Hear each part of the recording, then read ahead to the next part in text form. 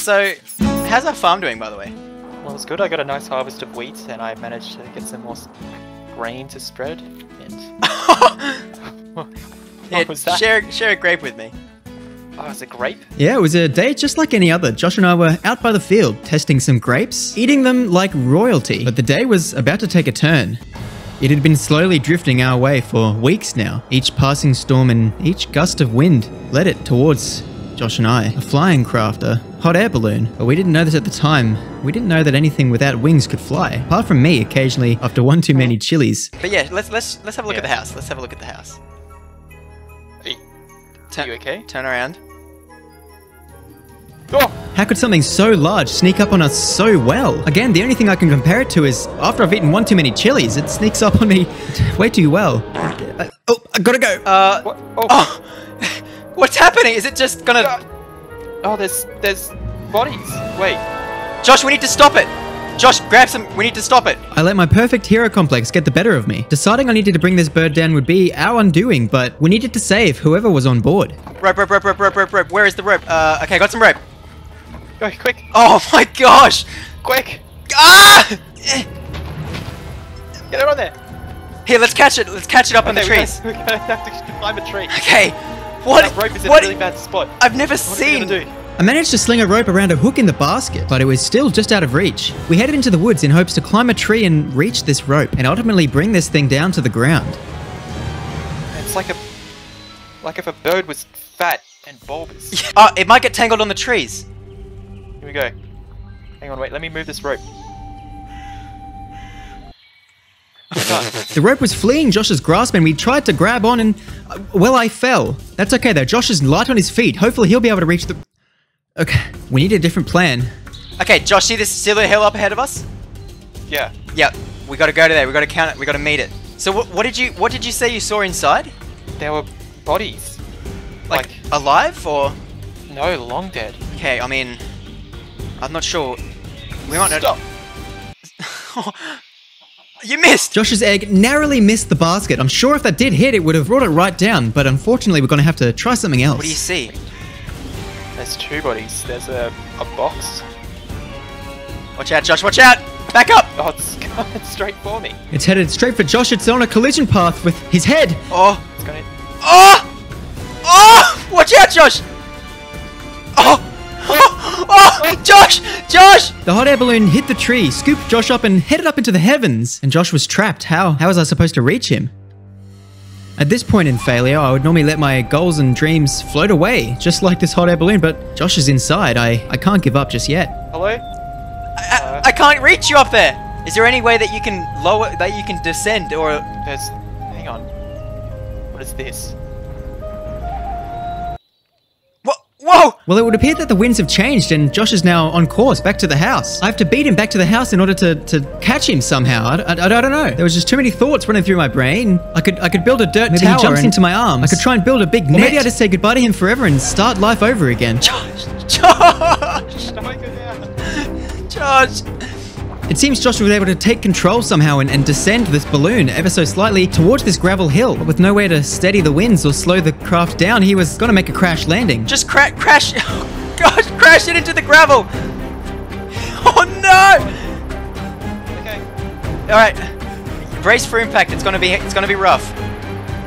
Wait. What do you mean impact? Well, oh you're gonna hit the gravel, Josh! Oh, oh, gosh. Josh!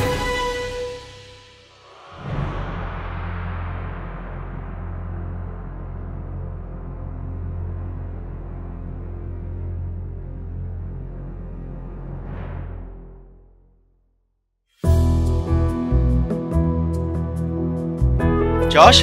Josh! Josh! Josh! Josh, are you Josh?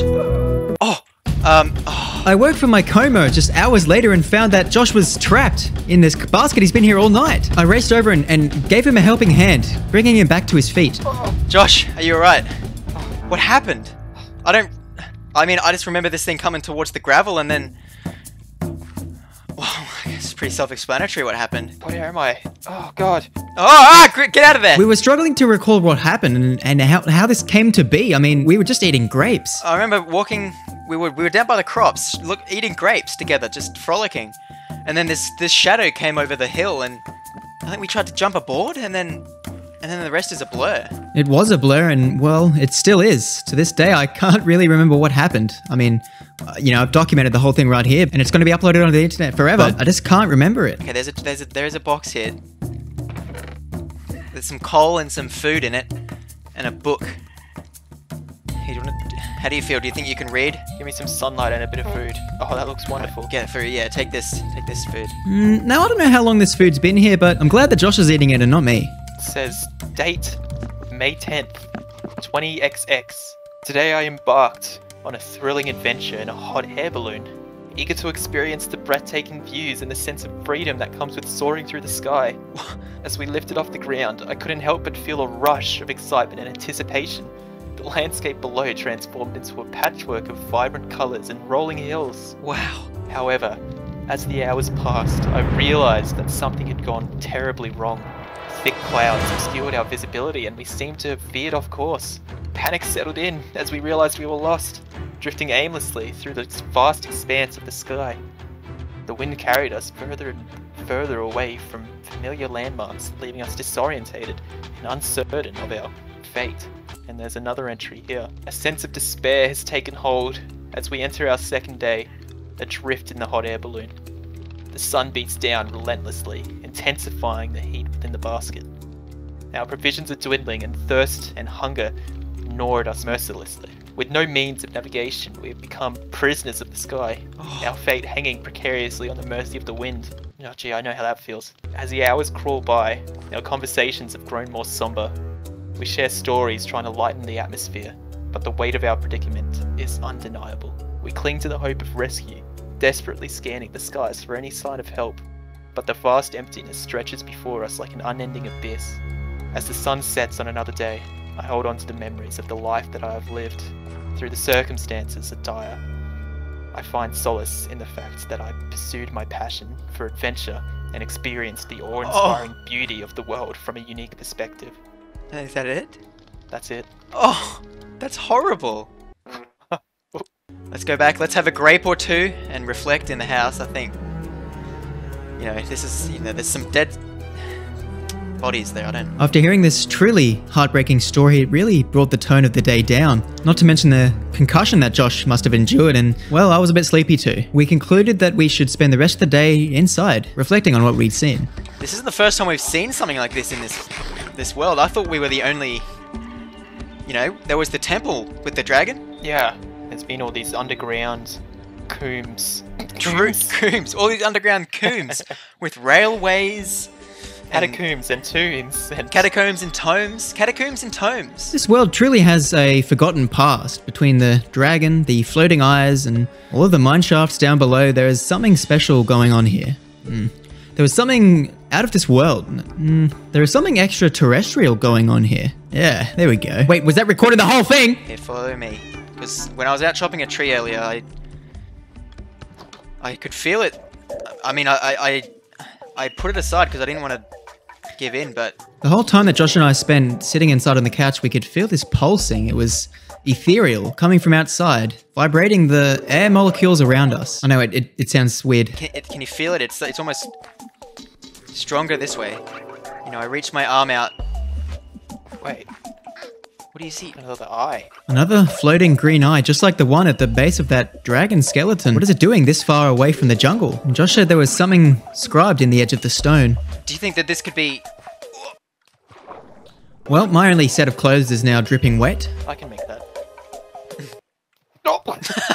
weighing twice our regular amount due to soaking wet clothes and Josh's uh, bodysuit. We dripped our way closer towards this podium and discovered that there were some bodies laying beside it, almost reaching out towards it. Past adventurers trying to piece together the puzzle of this world, perhaps.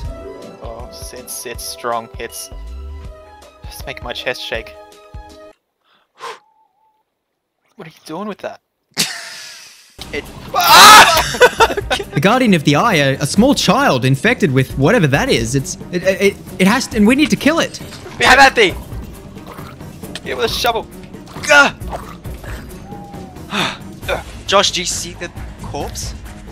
Josh, that was a villager baby. All right, let's go home. We burnt the body, took the eye, and continued home before we could be ambushed any further. What an uh, un- unearthly feeling about those eyes, Josh. I'll have to keep an eye out. No pun intended. To keep the eye in. Belongs. right. Uh, shut the door behind me.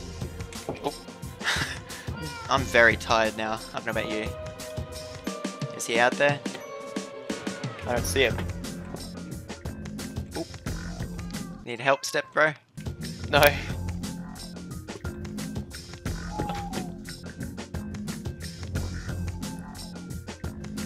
Are you okay, Josh?